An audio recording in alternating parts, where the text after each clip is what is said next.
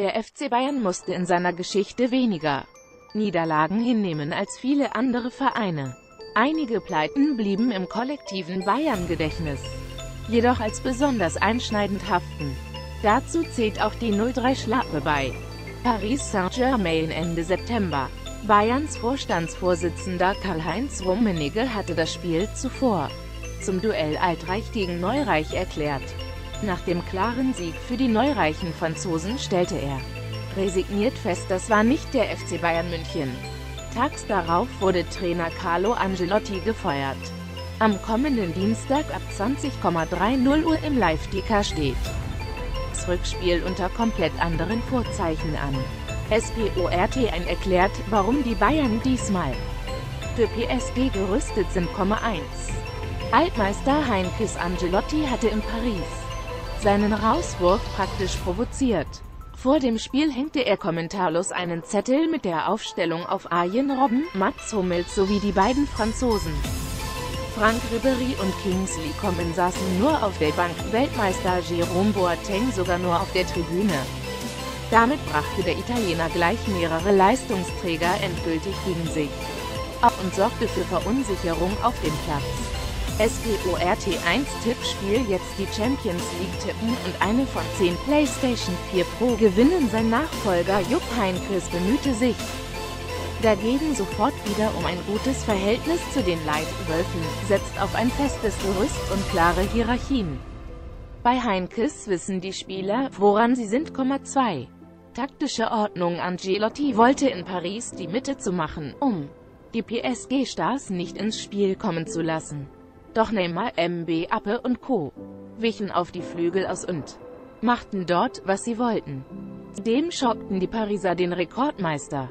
Immer wieder mit schnellen Kontern. Hankes hat den Bayern eine funktionierende taktische Ordnung verliehen, die Defensive agiert nun deutlich ausbalancierter als unter Angelotti. Im letzten Spiel gegen Hannover leisteten sich die Münchner zwar ein paar Nachlässigkeiten, Jerome Boateng warnte, nach dem 31-Sieg das kannst du gegen Paris nicht machen, sonst schießen die dich ab. Grundsätzlich sind die Bayern in der Rückwärtsbewegung jetzt aber wieder auf Top-Niveau. So naiv wie im Prinzenpark werden sie sicher nicht mehr verteidigen. 3. Fixpunkt Martinez Javi Martinez ist ein Hauptgrund für die neue Stabilität der Bayern. In Paris musste der Spanier noch als Innenverteidiger spielen, seit Hein Christa ist spielt Martinez wie in der Triple-Saison 201.213 ausnahmslos im defensiven Mittelfeld. Als Fixpunkt auf der 6 bringt er Ruhe und Ordnung ins Spiel der Bayern. Mit Martinez in der Mitte sind die Bayern so gut abgesichert, dass sie diesmal auch auf den Außenbahnen verteidigen können. 4. Rückhalt Ulreich im Hinspiel war Sven Ulreich noch ein Unsicherheitsfaktor gewesen. Bei zwei Gegentoren sah der Ex wird Pieper nicht gut aus. Mittlerweile ist aus Ulreich ein würdiger Vertreter von Manuel Neuer geworden. Der 29-Jährige strahlt Sicherheit aus und hält auch einmal einen unhaltbaren. Vor dem Duell mit PSG sagte Ulreich, wir wollen natürlich einen anderen FC Bayern sehen als im Hinspiel, wo wir einfach kein gutes Spiel gemacht haben. Da wollen wir möglichst gewinnen und zeigen, dass es im Hinspiel nur ein Ausrutscher war. 5. Krieger Vidal unter Angelotti war Vidal oft nur Randfigur im Hinspiel. Tat der Chilene sein Bestes, aber meist als Einzelkämpfer. Heinkes ließ Vidal wieder volles Vertrauen spüren. Man arbeitete schon in Leverkusen zusammen.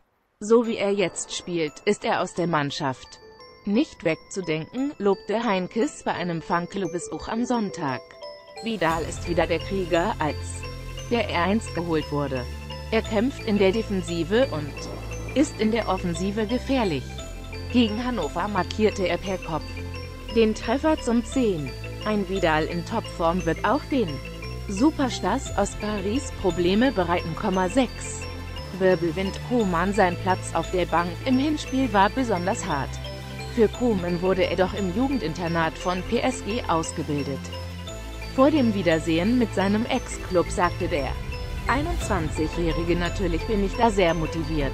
Das Rückspiel gegen Paris kommt zum idealen Zeitpunkt für den Franzosen gegen Hannover spielte er.